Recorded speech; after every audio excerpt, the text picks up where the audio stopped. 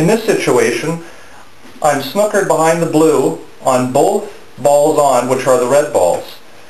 I attempt to come off one cushion and hit the red, but I end up short. I do not have this side of the cue ball past the front side of the red ball. This will automatically be called a miss. Whenever a miss is called, the player, incoming player, has three options. Number one, he can shoot the shot himself.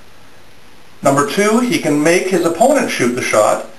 Or number three, he can have the referee replace the ball, make his, his opponent shoot again.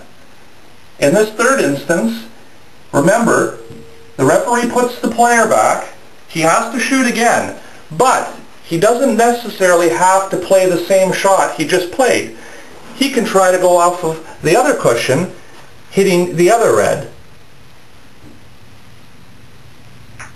So remember, the incoming player does not have to shoot the same shot that he had after he is replaced on a miss.